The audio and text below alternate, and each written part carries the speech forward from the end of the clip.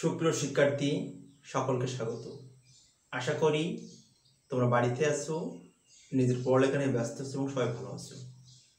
তো শিক্ষার্থী, আজকের আমরা যে বিষয়টা এখানে দেখব একটা গুরুত্বপূর্ণ বিষয়।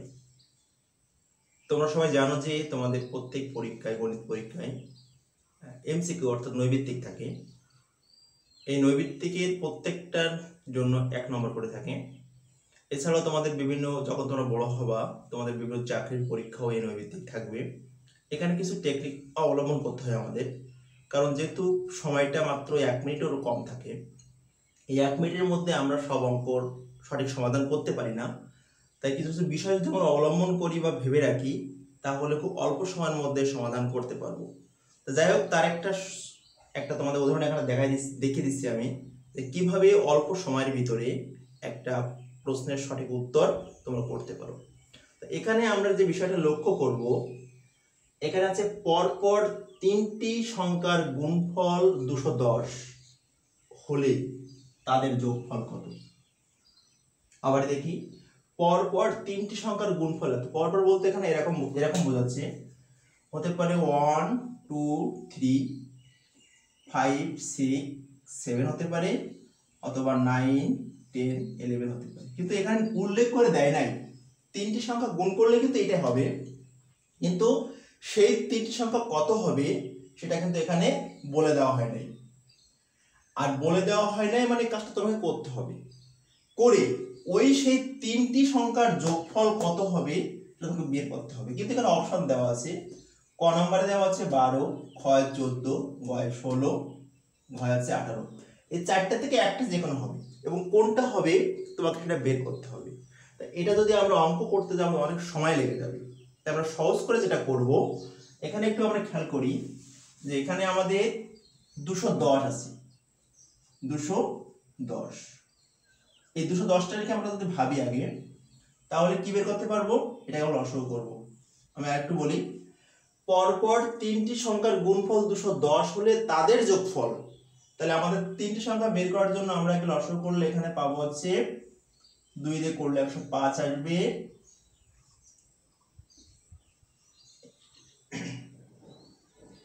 আমার মনে হয় এর থেকে কিছু করা যায় না, এটাই।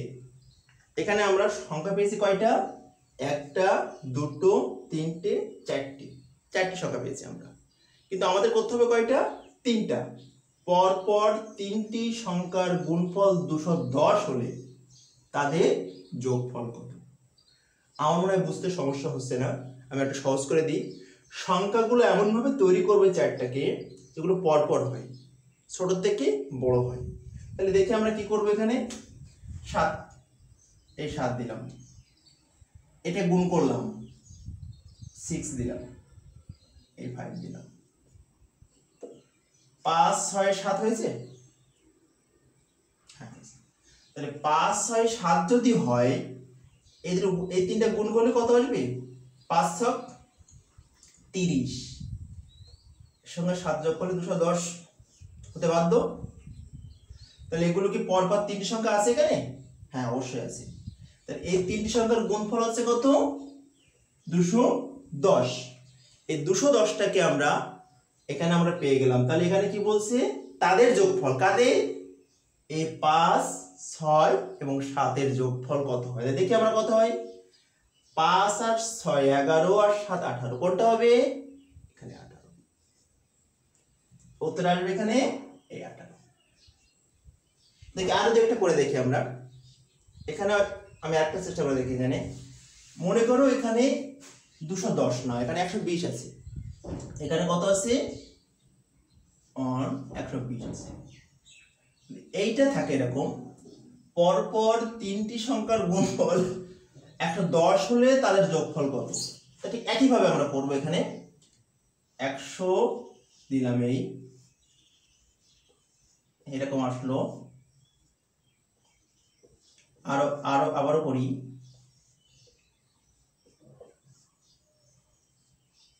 আমার আমার মনে হয় আর সম্ভব না। এখানে পাইলাম কত? একটা, দুটো, তিনটে, চারটে, পাঁচটা। এই পাঁচটা সংখ্যাকে আমরা করব হচ্ছে কয়টা? দুই সংখ্যা তিন সংখ্যা করব তা করি আগে আমরা। প্রথমে আমরা করলাম কত?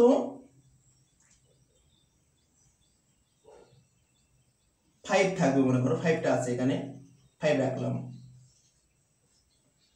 এদের গুণ করলে মানে সিক্স ফোর কয়টা হলো? একটা, দুটো এবং তিনটা। কি পাইলাম?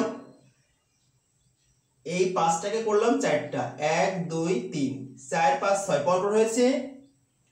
চারি পাঁচা কুড়ি, পাঁচ, ছ। এখানে চারি পাঁচা কুড়ি। কুড়ি, ছয় কুড়ি, একশো বিশ। এখন যদি এখানে আমরা কি করে যোগ করি, এখানে হবে কত? নয় প্লাস পনেরো। অ্যান্সারটা হবে আছে? আমার মনে হয় আর বুঝতে কারও সমস্যা হয়নি। আর বুঝতে হলে ভালো প্র্যাকটিস করবে। এই বিষয়টা তোমাদের এখানে ছিল। এরকম তোমাদের প্রশ্ন তোমরা দেখতে পাবে যে অনেক সময় অনেক প্রশ্ন আসবে যেগুলো অনেক কঠিন। কিন্তু এই বিষয়গুলো যদি তোমরা শিখে রাখো টেকনিকগুলো তাহলে অনেক সহজ হবে। আমি আশা করব যে তোমরা এগুলো বারবার প্র্যাকটিস করবে আর এগুলো জানার চেষ্টা করবে।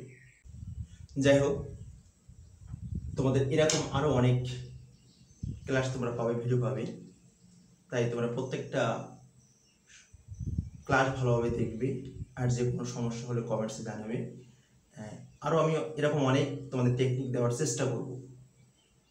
সে পর্যন্ত সবাই ভালো থাকবে, নিজের বাড়িতে থাকবে এবং নিজের পড়ালেখা নিয়ে ব্যস্ত থাকবে।